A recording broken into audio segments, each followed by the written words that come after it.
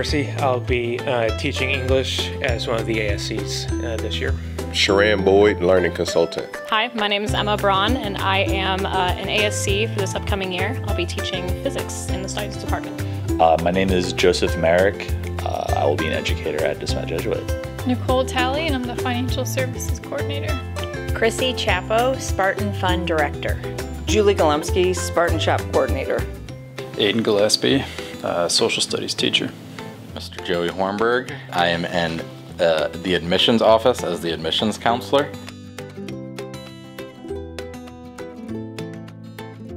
I did teach myself uh, to solve Rubik's cubes. I can I've got my time under two minutes.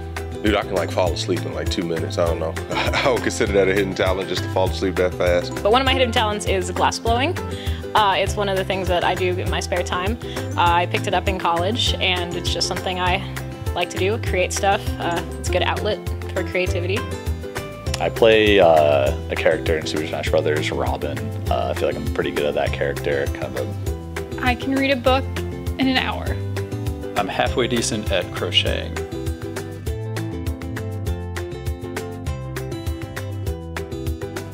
My dream vacation is definitely the Baseball Hall of Fame in Cooperstown, New York. Um, hopefully I'll go when my favorite player, Ichiro Suzuki, gets inducted in a couple years. Trip to Bali. Um, just any place where, where the water's like crystal clear.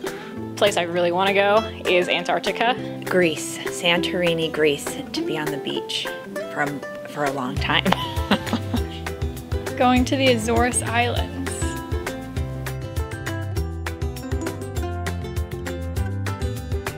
I'll just coach, um, coach and open up a lot of athletic training facilities where kids have the opportunity to come there, and learn that specific sport. If I won the lottery, I would probably, um, you know, just travel the world. I go into public policy. I'd probably buy an esports team. Oh, I would um, volunteer and travel. Keep working in a role kind of like this. This is kind of where my passion lies. Still continue to do what I'm doing, just because I love doing it.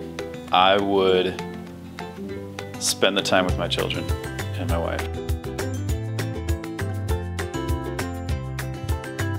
It would probably be the creative writing class that I took uh, my senior year of high school. I would take my history of rock and roll class. I took that in college. AP Civics I took here. I think art history. Communication. College would be my ceramics class. I'd like to go back and take some of my theology classes that I had here.